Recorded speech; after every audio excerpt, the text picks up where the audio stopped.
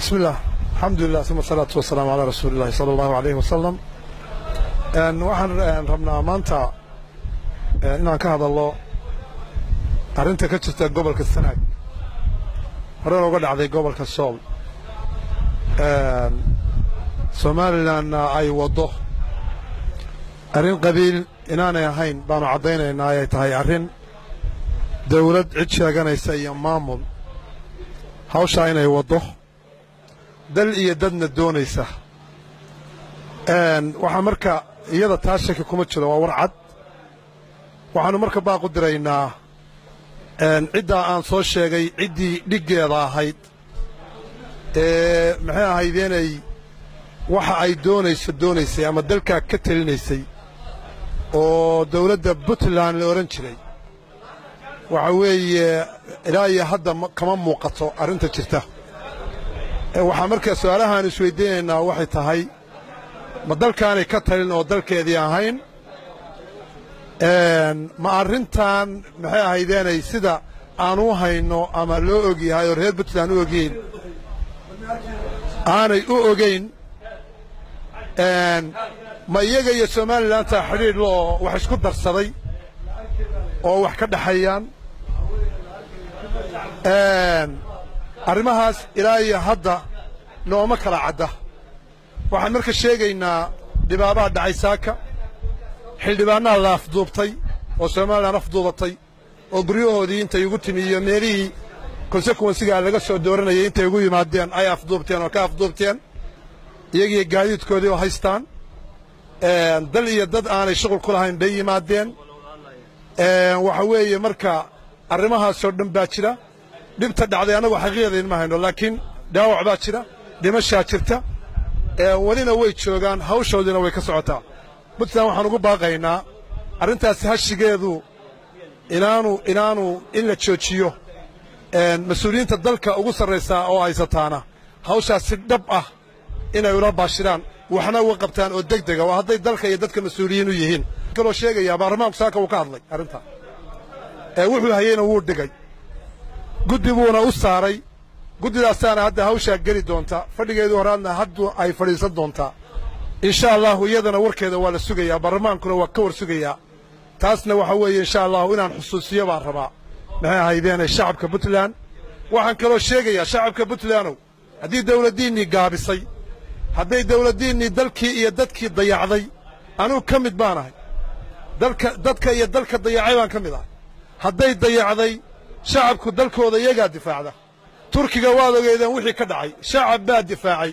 Kaarayaashii bay isu dhigeen. Shacabkaa laga rabaa dalka iyo dadka inay difaacdaan haddii dawladnimo lagu difaaci waayo qabiil waa in lagu difaacaa.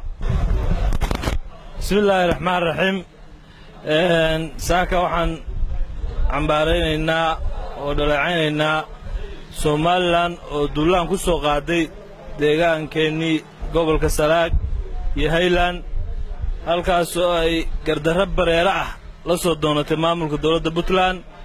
Waxaannu leennahay beesha caalamka iyo dawladaha deriskaaba. Yaan la ysku eedayn intay ka soo tageen waa aragtaan hargaysay ka soo tegeen maanta baran bay joogaan. Hargaysay ka soo tegeen maanta baran bay joogaan.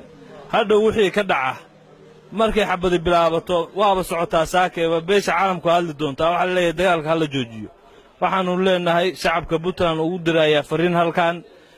Shalay waxaannu difaacannay gobolka mudug waxaannu difaacannay gobolka nugaal. Sidii oo kaleeto maanta loo kaco. Hana la difaaco dalka dalka hala difaaco. Waxaan saaka halkan rabaa inaan farriin uga diro maamulka gobollada waqooyi ee soomaaliya ee uu madaxda ka yahay axmed maxamuud silaanyo kollayba hadda isagu waa maqan yahay saan filayo waxaan leeyahay madaxda hadda matelaysa isaga ee dalka joogtaayey inay weerarka qaawan ee dalka iyo dadka aan ikhtiyaarkooda ku raacin ee diiday ee maamullo kale ka tirsan ee ay soo farageliyeen ee ay tignikada u soo kaxaysteen ee ay dagaalka ku soo qaadeen ee ay sanaadiiqda khasabka ku soo qaadeen ee ay run moodeen kuwa soo horgalay oo yidhi meel baannu wax ka nahay. Waxaan leeyahay dadka shacabka ee reer waqooyi waa walaalo waa dad derisa waa dadaan ceebi ka dhaxayn waa dad wax badani ka dhexeeyaan inaanay dhibaato dhex dhigin raagta oo daba dheeraata ayaan farriin baaq degdega ugu dirayaa oo ay afqabtaan halka ay hadda joogto inay afqabtaan. Haddii taa la waayo waxaan ka digayaa dhibaatada cawaaqibka reebta ee daba dheeraata ee nin walba gurigiisa ugu tagta ee saamaysa ha la ogaado taariikhda ayaa sheegi doonta maalinba yaa joogay bay leedahay ciddii hoggaaminaysay arrinkaas.